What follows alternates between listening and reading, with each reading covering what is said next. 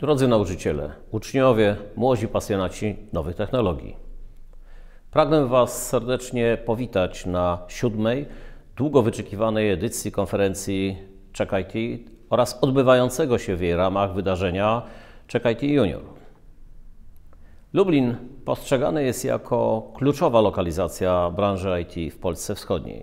Szacujemy, że w sektorze tym działalność prowadzi w naszym mieście ponad 2,5 tysiąca firm, które wykazują rosnący potencjał zatrudnienia i stale prowadzą rekrutację. Check IT to doskonała okazja ku temu, byście poznali potencjalnych pracodawców, ale też niecodzienna lekcja informatyki, obfitująca w prelekcje, warsztaty i spotkania ze specjalistami z branży.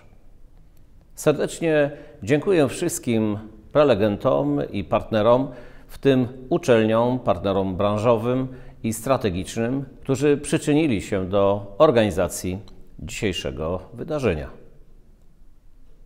Mam nadzieję, że udział w tegorocznej konferencji zainspiruje wszystkich e, uczestników do poszerzania swoich zainteresowań i pasji informatycznych, zachęci młodzież do podjęcia studiów informatycznych, a w przyszłości zaowocuje karierą w branży IT w naszym mieście.